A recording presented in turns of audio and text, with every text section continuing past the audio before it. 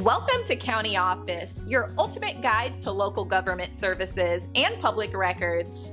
Let's get started. How to conduct a land survey. .NA land survey is a detailed process used to determine and document the boundaries and features of a parcel of land.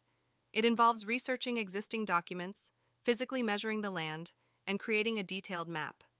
Land surveys are crucial for property transactions, resolving property disputes, and ensuring accurate property records. NN one of the first steps in conducting a land survey is researching existing documents related to the property, such as deeds, previous surveys, and property records. This information provides valuable insights into the history and boundaries of the land. The next step involves physically measuring the land using specialized tools and equipment.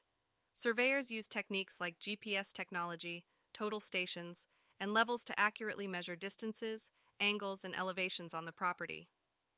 After collecting all the necessary measurements, the surveyor creates a detailed map or survey plat that outlines the boundaries, features, and any improvements on the land. This map serves as an official record of the survey findings and is used for legal and planning purposes. Overall, conducting a land survey requires a combination of research, fieldwork, and mapping skills to accurately define the boundaries and characteristics of a piece of land.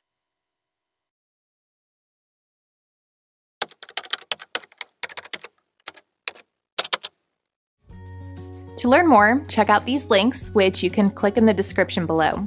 And feel free to comment your questions. We're here to help.